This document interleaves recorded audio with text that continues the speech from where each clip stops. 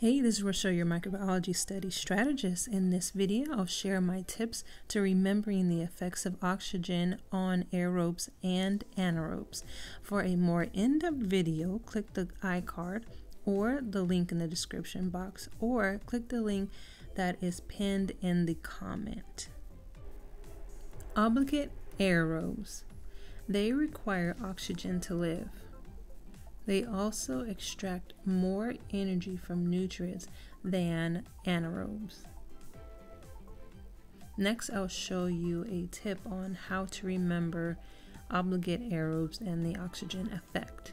So here I use the O in aerobes and I spell oxygen.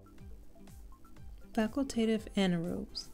These are bacteria that can grow in the presence of oxygen and in the absence of oxygen.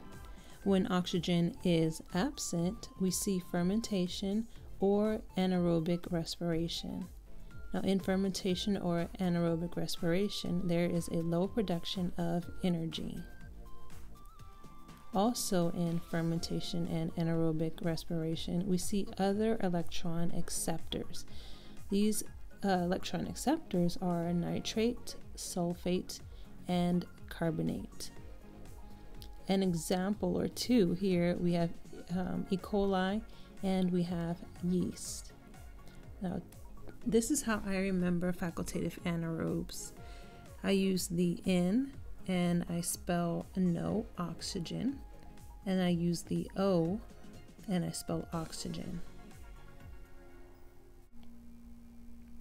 Obligate anaerobes.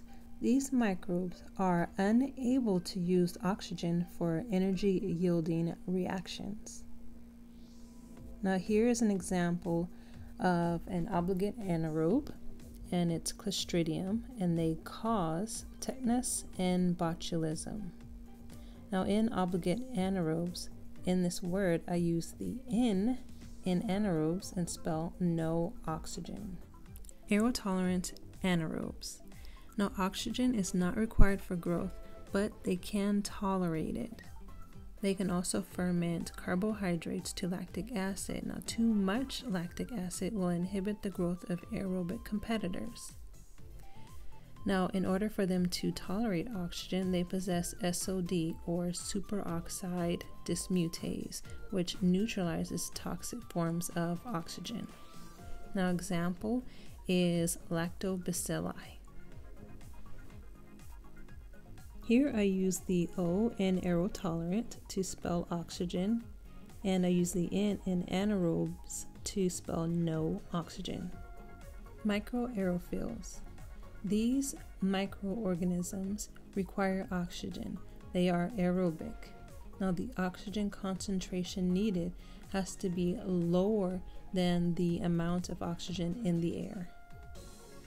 Now, here I use the A and spell aerobic and I use the O to spell oxygen.